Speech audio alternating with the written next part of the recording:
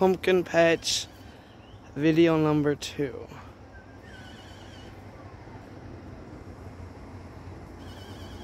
Okay, and tomatoes.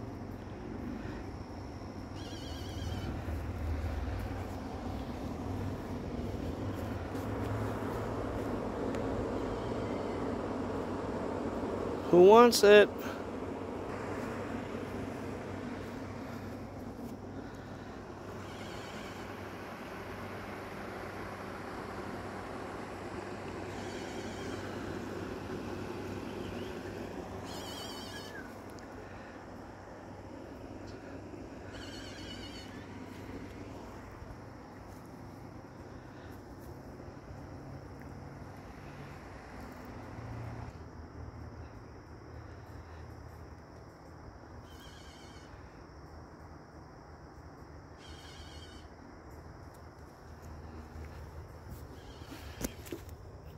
Here's one watermelon.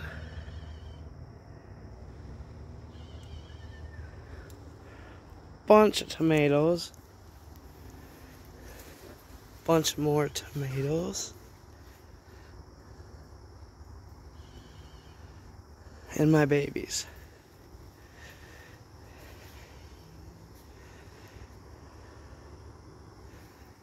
Here's the big one.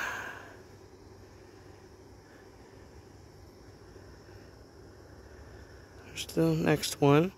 You already saw the first one.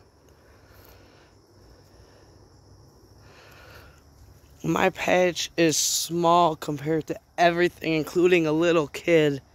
Okay, he's not a little kid. He's like 12 or 13. If it's rude to ask adults how old they are, I think it's kind of rude to ask the kid how old he is. But this is the smallest patch I've seen. Second smallest set of tomatoes. Okay. Okay, now we have the regular size pumpkin patch. And more tomatoes. Um, the biggest problem I've had is rot on uh, blossom rot.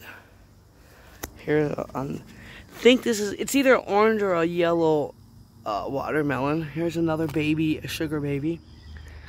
Um,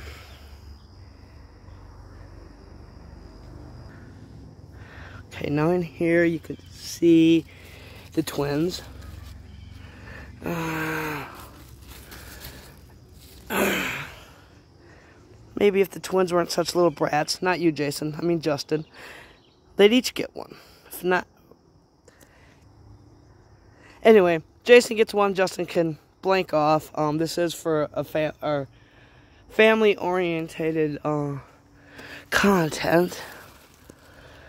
Um, there's a couple more up in here. My pepper plants.